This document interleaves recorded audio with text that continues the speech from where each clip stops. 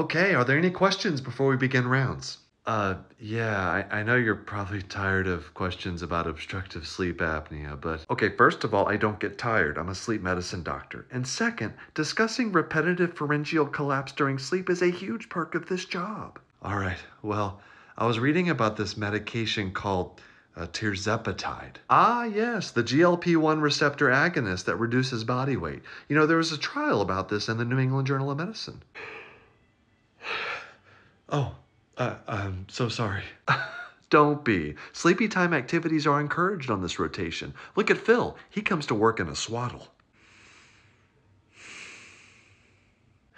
anyway, there were two trials. Over 450 adults with moderate to severe obstructive sleep apnea and obesity were assigned to receive either tirzepatide or placebo for a year. Trial 1 enrolled patients using CPAP. Trial 2 enrolled patients not using CPAP. Interesting. What did they find?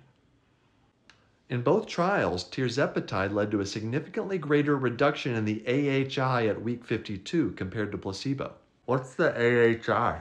It's the apnea hypopnea index. It measures the number of apnea and hypopnea episodes that occur during an hour of sleep. Wow, tirzepatide sounds pretty good. Well, the trial only lasted for 52 weeks and excluded people without obesity, but it's certainly a promising treatment.